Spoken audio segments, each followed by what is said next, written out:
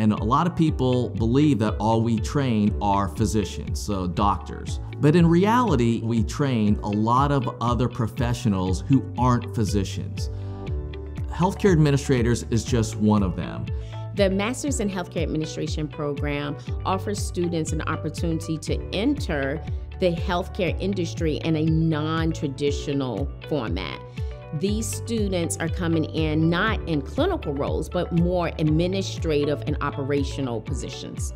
If you are interested in essentially running the business side of healthcare, whether it's in hospitals, clinics, insurance companies, nonprofit organizations, or a myriad of other healthcare institutions, the Master of Healthcare Administration program here is designed to educate and train you for a career in that field. I've been working in healthcare industry for over 9 years and I would like to advance my career and become a leader in healthcare industry and EVMS I think is the perfect school for that.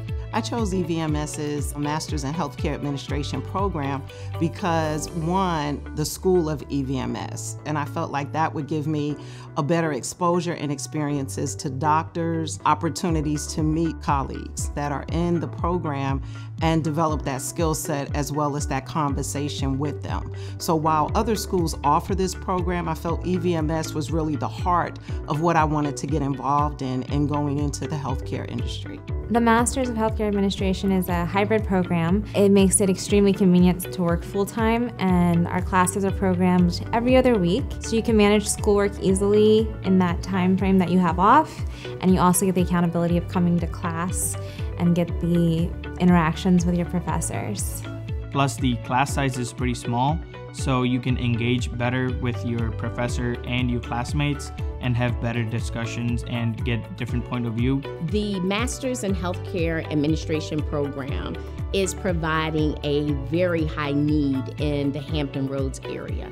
There are multiple healthcare systems and healthcare organizations that are seeking individuals with these levels of credentials.